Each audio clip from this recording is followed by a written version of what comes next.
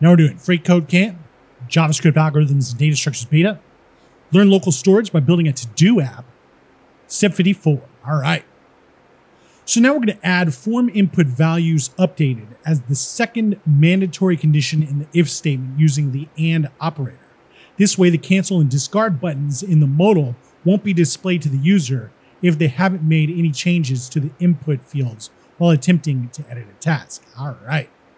So yeah, for this one, really easy. We'll just come right after this uh, this uh, first variable in the if statement. We'll do an and and like that, and then we'll take the thing we just created, and we'll put it inside. What happened?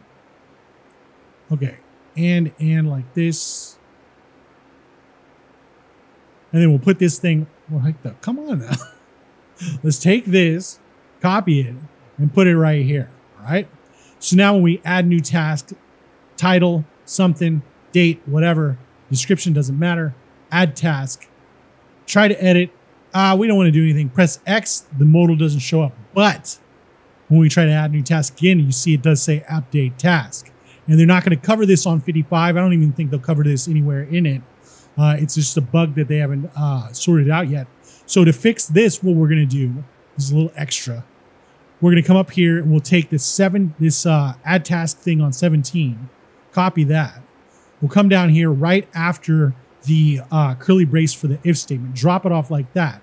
Now when we add new task, title, whatever, date, whatever, description doesn't matter, add task, edit it. Now we don't want to do it.